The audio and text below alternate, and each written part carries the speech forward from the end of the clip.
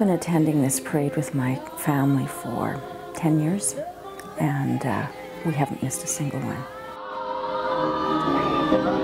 Rudolph the red-nosed reindeer.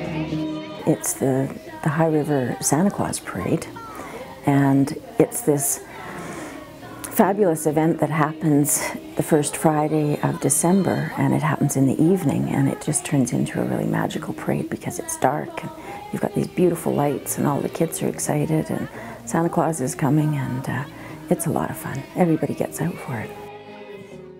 We're an evening parade, so it's totally different uh, from a daytime parade. And as far as people coming out, uh, it makes it a lot easier for families to come down. And, and then, like I say, there are so many things happening around town aimed for the kids, like hot chocolate and hot dogs uh, by different groups. And don't forget, popcorn and hot chocolate right stage. And it's the museum. So at the time, we were the first evening Santa Claus parade in Canada, probably about the second or third in North America outside of Disneyland. Uh, it started 25 years ago and it was a, a gift from a husband to his wife uh, as a reminder of her childhood Christmas Santa Claus parades. And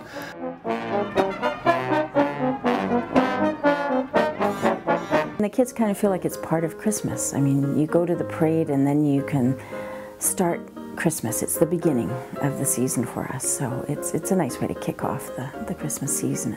I love living in High River because it's just, it's a wonderful community to live in. And I know lots of people say that about a lot of communities, but it's, it's been a very welcoming community and it's, the people are interesting and friendly. we've had estimates of anywhere from five to 15,000, uh, just depending on the, the weather the day of the parade.